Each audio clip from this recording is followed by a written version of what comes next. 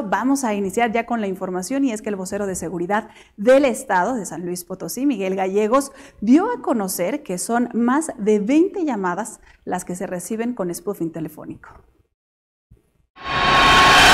En los últimos seis meses, San Luis Potosí ha registrado casos de spoofing telefónico, técnica utilizada por estafadores para suplantar la identidad de una persona falsificando el número de la víctima, lo que les permite engañar a las personas y obtener información confidencial o cometer otro tipo de fraudes. Bien, se tienen registrados 23 casos de spoofing en un periodo de octubre de 2023 a marzo de 2024. Llamadas telefónicas, 9 casos, páginas web 12 y correos electrónicos 2.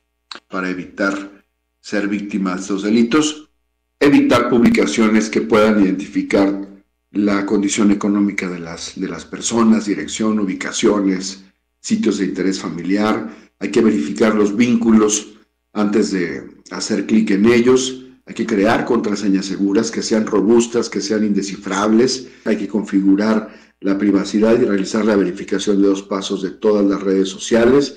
Para Noticieros San Luis Potosí, Alondra Yaneli.